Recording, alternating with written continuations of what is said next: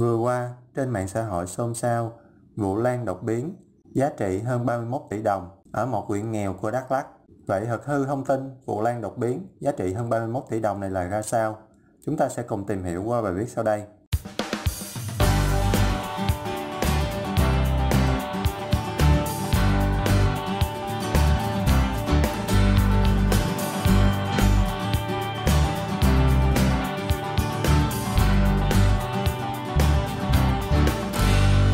Theo kết quả xác minh của cơ quan công an cho thấy, không có hương vụ chuyển nhượng vài chậu lan đột biến với giá hơn 31 tỷ đồng như thông tin đã đăng tải.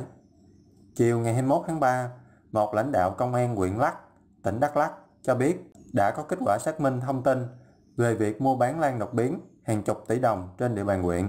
Theo vị này, qua xác minh, không có việc mua bán lan đột biến với giá hơn 31 tỷ đồng như thông tin đăng tải.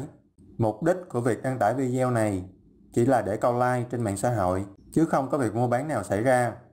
Trước đó, trên mạng xã hội đăng tải hình ảnh, thông tin chúc mừng bạn Lắc.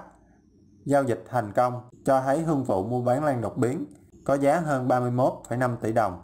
Theo hình ảnh đăng tải, hàng chục người đã tham gia buổi chuyển nhượng lan đột biến. Trên bàn để sẵn các chậu lan đột biến và một số tiền mặt. Trên tấm phong ghi gõ bàn giao và chuyển nhượng lan đột biến. Tổng giá trị chuyển nhượng 31,505 tỷ đồng. Sau khi đăng tải lên mạng xã hội, nhiều người tỏ ra sốc khi chỉ vài chậu lan bé xíu, nhưng số tiền giao dịch lớn và không khỏi ngưỡng mộ dân chơi tại huyện nghèo lắc.